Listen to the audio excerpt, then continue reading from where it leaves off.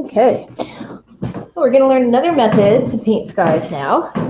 And a lot of people really like this method because it gives them more control than the wet method. Um, but there's a few tricks to make it work well because oftentimes this method just looks bad. so, you know, and, and maybe look up some other videos on how to paint skies with this method. Um, I usually prefer actually a combination of both. But we're going to try, so we did the wet method, now we're going to try a more dry method where we're going to put a wash on and then we're going to subtract off the clouds with a Kleenex uh, or a sea sponge.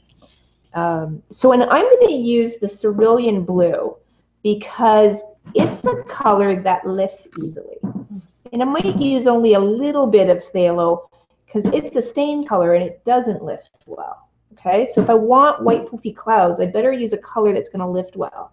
So that's why we're going to do that test, and maybe we'll do that. Um, we'll do that too, because that's good. Hey, do you want to bring your thing over? Actually, we'll look at it right now.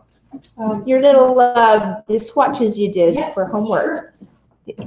So part of watercolor uh, is being able to plan. Well, if I know I'm going to lift something off and I want white clouds, what color should I use to make sure I can do that? So this little test here, we've got a black magic marker line underneath. So this has to be a permanent marker. And then each color that we have in our palette, we paint a medium mixture across On top of. on top, across on top of the black magic marker line. Uh, you can mix your paint maybe just a bit stronger than this. But what it shows us, you see this yellow, and if you had some other yellows, like if I put cad yellow on top of here, I'd see it sitting even more on top. I'd see the yellow on top. Does anybody have some yellow? um, pad mixed up. So cadmium is a more opaque yellow. So you've got some, eh? This one right here. And if I put that across here, we're Oh, going to yeah. see it sitting on top even more than Aureolin does. So this shows us visually, oh, that color is opaque. This one's more sort of, this yellow is sort of translucent. Mm-hmm. We still see some little yellow dots sitting on top of the black there, but not to the extent that we see the cadmium. So this is one way to get to know what colors we have and are they transparent or are they opaque or somewhere in between.